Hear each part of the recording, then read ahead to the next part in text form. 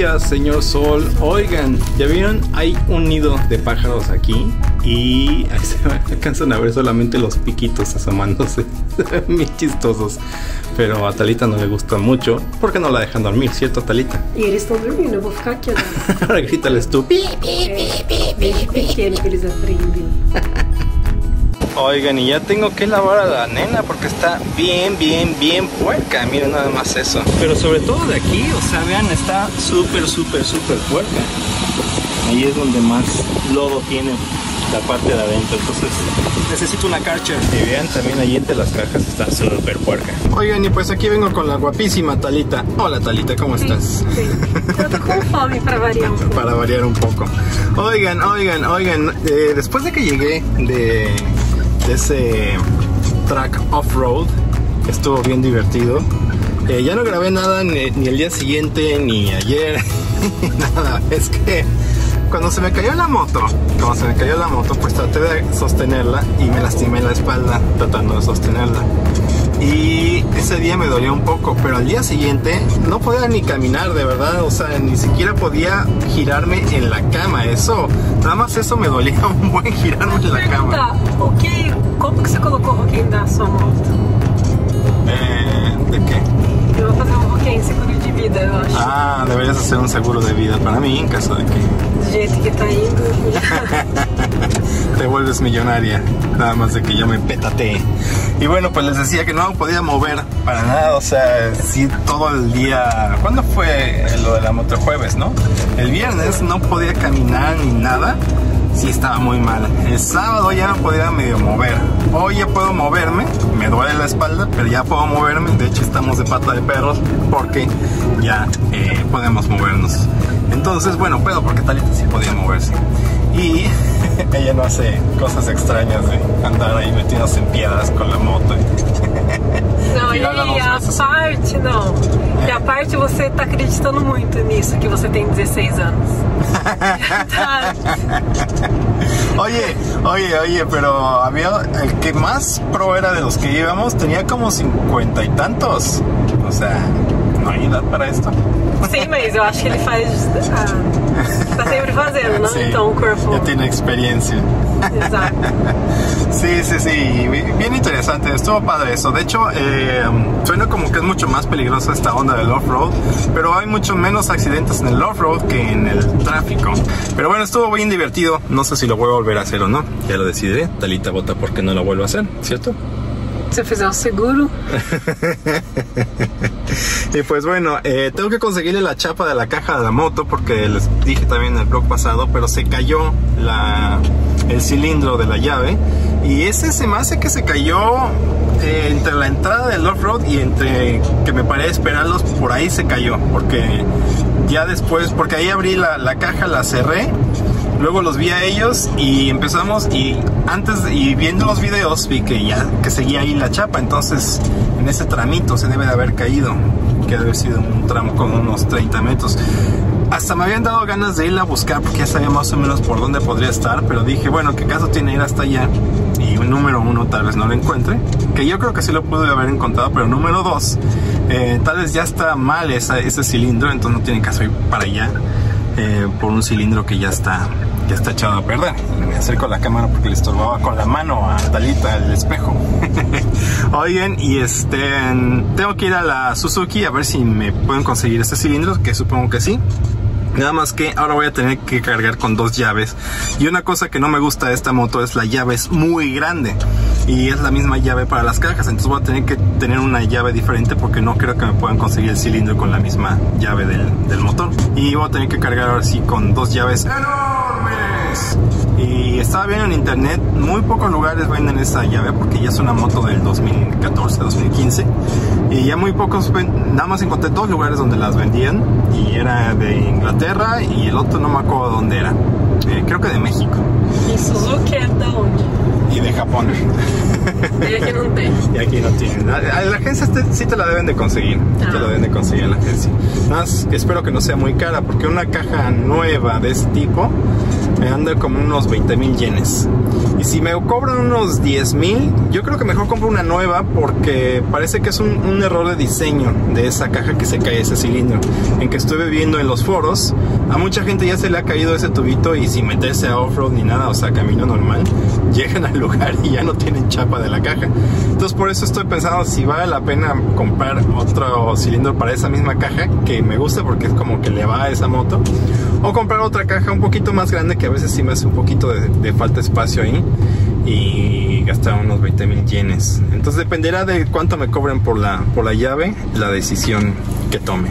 Lo que sí es que la caja se puede usar ahorita, se puede usar nada más que no tiene seguridad. Entonces sí puedo abrir y cerrar y no se está abriendo en el camino. Pero si dejo algo dentro de la... tranca. Exacto. Entonces no puedo dejar mis cosas porque ahí siempre dejaba como que la- el casco y, las- y la GoPro y todo eso. Y pues ahora pues no se puede porque cualquiera llega, abre y se lleva todas las cosas, ¿no?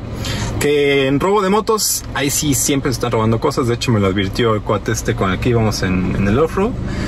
Fuimos a un centro comercial, entramos al estacionamiento y me dijo, aquí si no dejes nada a la vista porque en los centros comerciales siempre se están robando cosas. Ahí me robaron una motocicleta aquí. Y este, entonces eso sí hay que cuidarse. Es muy Japón, muy Japón, pero sí roban cosas. Entonces, cuídense muchachos, cuídense. Y pues yo creo que la próxima semana estaré yendo a buscar ese cilindro, a ver si, si lo encuentro a buen precio. Y si no, pues ya estaré pidiendo una caja nueva. O a ver qué hago. Veremos. Oigan, y eso de la espalda que traigo ahorita, se me hace que tengo poca fuerza en la espalda o ya traigo una lesión, porque siempre que iba al aikido, después de entrenar una semana o dos, me empezaba a dar el mismito dolor, el mismito. Y este, entonces como que tenía también la mala costumbre de cuando tiraba a alguien, lo jalaba para que no se lastimara, que bueno, se supone que la otra persona sabe caer. Eh, entonces con eso me lastimaba la espalda. Entonces, o me falta fuerza en la espalda o tengo ya ahí algo en, en la espaldita. Tengo que, tengo que revisarlo con un médico y ver qué, qué hacer. Si me manda ejercicios para fortalecer la espalda o si me compro una espalda nueva. ¿Qué opinas? Pede meu nariz. Pido tu nariz nueva. Bueno, te traen en Amazon. O las pedimos en AliExpress. Não. Oigan, y vamos a ir a este restaurancito que es de carnes y venden sushi y un poquito de todo. Le gusta mucho a Talita. Entonces veremos qué tal, qué tal está. Yo nunca he venido por acá. Vamos a probarlo el día de hoy. Ah, sí, se me olvidaba. Restaurante. Pues aquí nos pusieron fuego en esta cosa de acá. eh, los vasitos, guantes para cuando vayamos al buffet, eh, una talita para compañía y unos guantes Vamos. y bueno, pues aquí uno agarra las carnes y estos carnecitos después uno mismo los prepara ya en la mesa. Entonces, eh, eso es como muy japonés, que preparas todo tú mismo en tu, en tu mesa. Talita siempre dice de que uno paga mucho por venir a trabajar.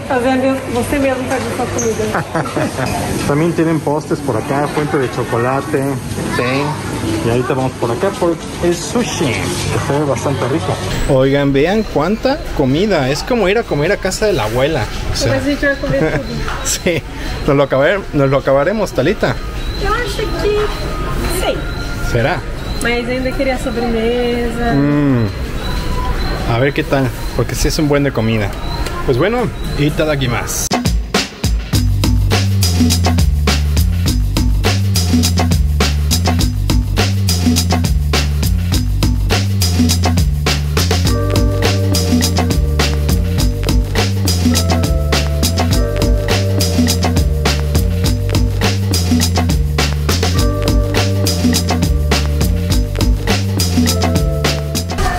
Del postre. Este de acá es de café con galleta, este es de chocolate y este de acá es eh, de té de... ¿Qué es ese té? Hocha. No sé, creo que es de... ¿Cómo se llama esta cosa? Ay, no sé. Hocha. Eh, un café con cocoa, o sea, un moca. Y Talita agarró, miren nada más todo esto que agarró Talita. Mentira, peguei fruta que sou fitness. Ajá, y todo esto, ¿de dónde salió? Pra você. Ah, qué amable. Bueno, después no me reclames si me lo como todo yo. Oigan, y ahora vamos a pasar a esta tienda de Don Quijote que quiero comprar algunas cosas talita. Esta tienda tiene de todo literalmente. Y esta no tiene cachorro, la otra sí. Es que hay otra que sí tiene cachorros, que vamos más o menos seguido, pero aquí no hay.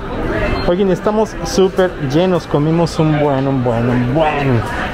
Pero muy a gusto, muy a gusto. Tienda para el hogar. Oigan, pues ahora vinimos a esta tienda que es el Heinz. y ¿Qué? me da risa el nombre. Oigan, pues quiero ver aquí un- una niña rockera. Oigan, pues quiero ver aquí una, este, las campanitas para oso. Porque con eso de que ahora me ando metiendo por lugares donde hay osos, mejor traer una de esas. ¿Qué pasa con esas campanitas? En realidad no es que espanten a los osos, sino que el problema de cuando te encuentras con un oso es que lo agarres por sorpresa. Entonces ahí sí te puede atacar. En cambio, si ya sabe que vienes, es así de, ah, hay gente por allá. Mejor me hago un lado. Piensa el oso. Entonces por eso la gente trae esas campanitas para ir caminando y ir haciendo ruido para que los osos sepan que hay gente por allá y no los agarre uno por sorpresa, que eso es lo más peligroso. ¿Qué dijiste, Talita? Que realmente eu tenho que fazer um seguro de vida. ou sim, ou sim. Ay, ven cómo es esta mujer, es de lo peor. Oigan, pues ya estamos viendo las sonajitas para oso. Esta es la que menos suena, pero es la que me convence más, precisamente por eso, porque, o sea, sí la escuchas de lejos, pero no te cansa estarlas escuchando, por ejemplo, estas. Y esta me gustó su sistema, pero están muy escandalosas. Ah, esse daqui, ó. Aqui, ó. Ah, esa de al lado, ¿verdad? Esta, porque cuando te harta lo apagas así. Le atoras la campanita acá. Y como quieres que suene, la pones así. Pero sí está muy ruidosa, entonces. Eso no me gustó, que esté tan ruidosa. Entonces yo creo que la que va a ganar es esta de acá. Me gustó. Ahí Tatalita estaba haciendo pruebas de campanitas caminando por allá, iba regresaba, bailaba literalmente, ya no alcanza a filmar, pero bailaba Talita. Preciso de. ¿Para qué necesito uno de esos? Bicho te picar, nem nada. En la cara. Listo. Parece más, parece más bien como de emergencia COVID. O urso não vai chegar muito perto, mas ele. Eu falo, que isso? ¿Qué es eso? Oigan, estamos buscando un ventilador para el baño que es muy chiquito y no tiene buena ventilación, entonces queremos un ventiladorcito chiquito. Pero Talita encontró este super pro. Bonito, olha. ¿Eh? Con colocar no luces y todo. Não, não pode. ¿Por qué no? Se a gente comprar esse, a Naná não vai sair do banheiro. Jugando con las luces. E vai ficar fazendo TikTok. Es que Nana tiene sus luces en su cuarto, entonces le encanta estar ahí haciendo TikTok. Olha, tem, olha. Las luces que tiene. Tá ¿Eh? vendo? Nossa, eu gostei desse. Desse banner. Ay, no. Oigan, y también quería ver una de estas sillas porque como ahora traigo la pulga del, ¿cómo se llama? De acampar, que ojalá no me agarre ninguna pulga acampando, pero como traigo ese, esa curiosidad de acampar, esa novedad, pues quería una silla y entonces estas sillas están bastante prácticas porque no pesan tanto, es como esta de acá. Sí está grande como para traer la moto, o sea, sí se puede llevar, ¿no? Pero según he visto de todo el mundo, lo que recomiendan siempre es llevar una silla, porque si no te la pasas muy mal. Pues bien, riquenianos, ya compramos cosas ahí en el Heinz. no sé cómo se pronuncia ese, ese nombre de esa tienda, pero sí es Heinz, ¿verdad? Me suena a alemán eso. Heinz. Algo así como Nine. Y eh, ahorita estamos yendo a comprar un café. Comprar un café al 7-Eleven. Porque el que estaba en el restaurante estaba muy chafa. O sea, el del 7-Eleven no es como que la hiper mega calidad de café. Es bueno, es bueno. A mí me gusta, la verdad me gusta mucho. Es mejor que el de muchas cafeterías, de hecho. Pero el del restaurante estaba muy malo. Entonces Talita se quedó con ganas de, de un café. Y aquí es donde estamos viendo la otra vez las llantas del coche de. Talita. ¿No es este? Pero es la misma marca, ¿no? Acho que sim. Acho que é a mesma Ahí loja. está, entonces ahí está, justificado mi comentario. Y pues sí, vamos al Seven a comprar el cafecito para Talita para que despierte porque se está muriendo de sueño. Después regresamos de casa, dejamos todo lo que hemos comprado el día de hoy, que ya pasamos como a 20 tiendas. Y después vamos al supermercado a comprar más cosas porque ya saben, hay que comprar mucho en esta vida, de eso se trata. Não, Thalita, de que se trata? Não, depende, mas é que a gente ia comprar é comida. Es comida, exacto. Para la semanita. Ahora, un café. Yay. Supermercado brasileño. Y pues nada, aquí vamos a comprar pancito. Ah, están haciendo una ahorita. Por acá hay también comida y todo. Mmm, está bien bueno. Feijoada. Esto es bien bueno. Y lo que es como bien bueno de estos supermercados son las carnes, porque están buenas y aparte están baratas. Y vamos a llevar mortadela. Não. ¿No? Mortadela, presunto. Ah, presunto. Perdón, aquí lo dice grandote. y porque vamos a hacer lunch, o sea, como tipo tortas. Y vamos a llevar también de este queso que se ve bastante rico. Y listo.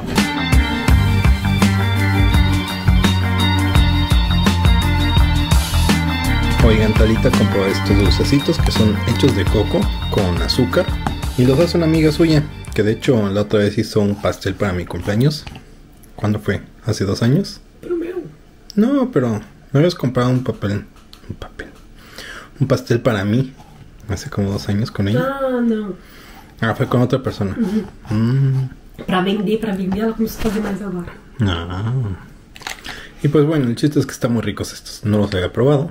¿Son de Brasil o son cualquier lugar? Não sei. No Brasil, sim, tem bastante. É como fosse o taquistador, assim. Você vai assim nesses lugares e sempre tem vendendo esse coquinho. Mm, está rico. Es como que te empalaga rápido, pero al mismo tiempo no quieres parar de comer. Hum. Está extraño. É que, tipo, tem o açúcar, né, aqui na tostadinho, que é bem doce, e depois logo já vem o coco, que o coco, ele, sem, né, tipo, ele não tem, então dá uma quebrada, não sei.